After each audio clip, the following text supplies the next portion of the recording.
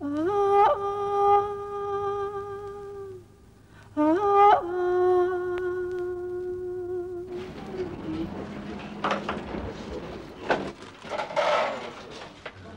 vous entrez là par hasard, vous verrez des gens jouer un jeu bizarre.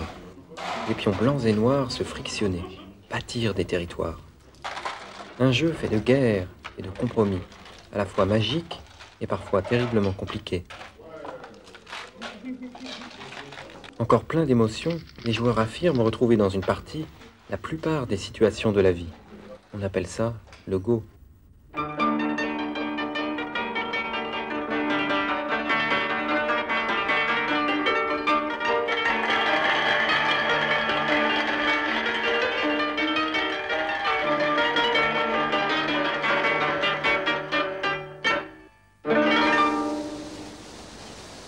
Le Go est né en Chine, plusieurs milliers d'années avant Jésus-Christ.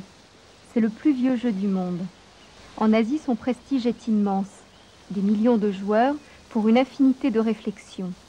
Une légende raconte que l'empereur Shun inventa le jeu afin, dit-on, d'aviver l'intelligence de son fils Chang Kyung, brutal et borné. Le Go devient alors le jeu de cour et fait partie des quatre arts, avec la peinture, la musique et la calligraphie.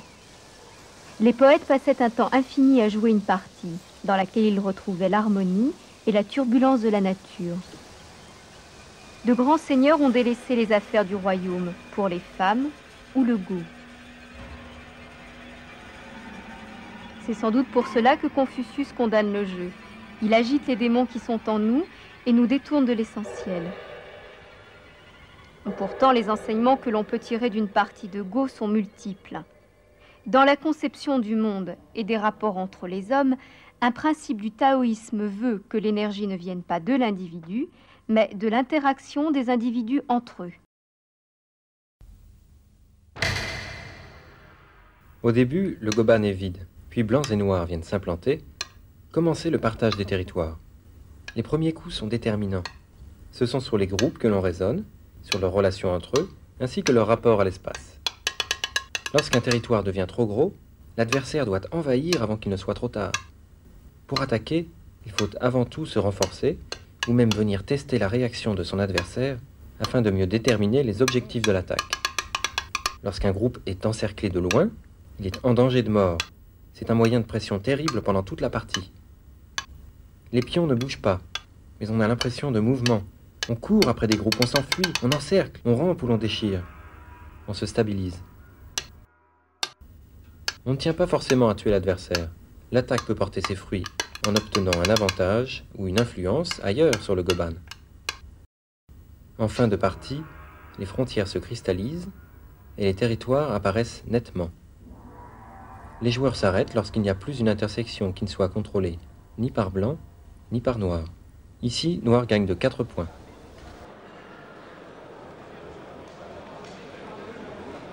Au début, quand j'ai commencé à jouer, j'ai beaucoup rêvé du Go.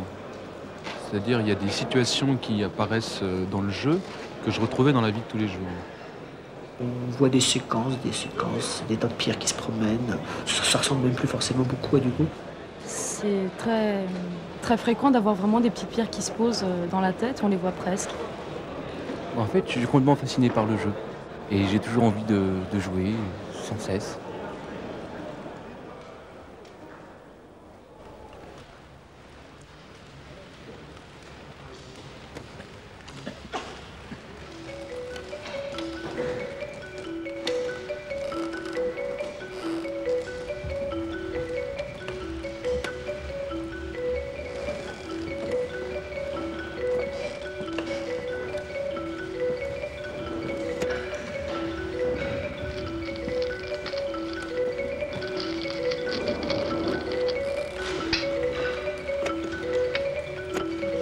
C'est aussi une autre manière de gagner, c'est de manger l'adversaire.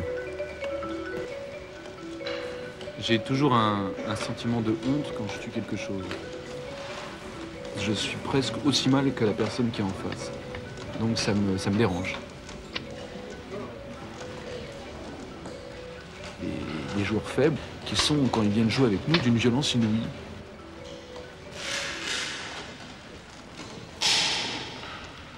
prêt à, à tout sacrifier, à se faire paradigme un Kiri sur le Goban. Le, le gros problème au Go, c'est d'arriver à se dépasser. C'est d'arriver à sans cesse trouver de nouveaux concepts, de, de nouvelles idées pour progresser. Et ça, c'est c'est une recherche permanente.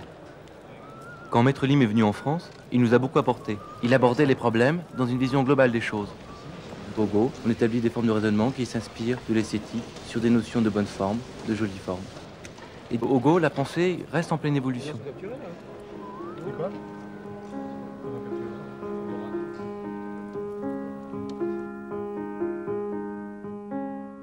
Le coût esthétique joue un rôle considérable et dans l'analyse théorique et dans l'économie de pensée. C'est ce sens qu'on peut parler facilement du fait que le Go est un jeu intuitif visuel. On trouve le bon coup sans trop réfléchir et en se laissant guider par le sens de l'harmonie sur l'ensemble du jeu. Il y a tellement de combinaisons dans le jeu qu'il est impossible de tout calculer. Aucun homme, aucune machine. Au Go, les formes naissent du conflit. Dans le cas du Go, gagner euh, est un objectif différé, comme on dit souvent, c'est-à-dire que euh, pendant la partie, il est très très difficile de savoir si on est en train de gagner ou de perdre. Ce qui est facile à savoir, c'est si on est en train de respecter le jeu ou pas, c'est-à-dire si l'équilibre, qui est la notion principale, est maintenu. Et les deux notions, les notions d'esthétique et la notion d'équilibre, sont à peu près fondamentalement euh, mélangées au Go de telle sorte qu'il est très très difficile de dire autre chose que le coût esthétique, c'est le coût qui est le plus équilibré.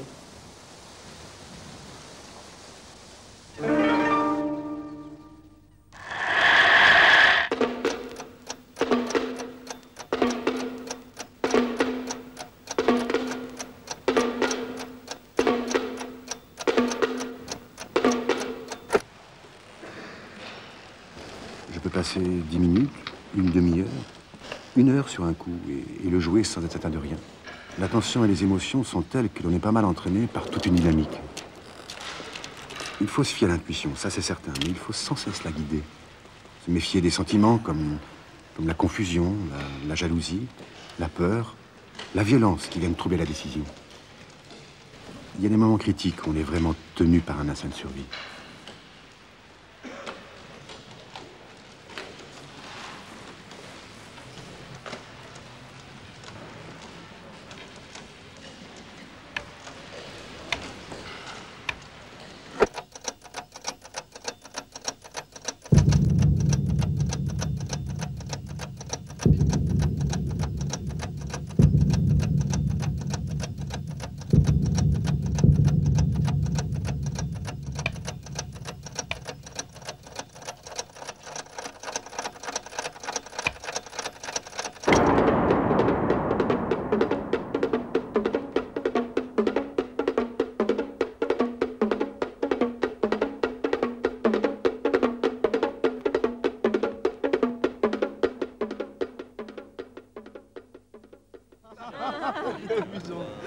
Non, ouais.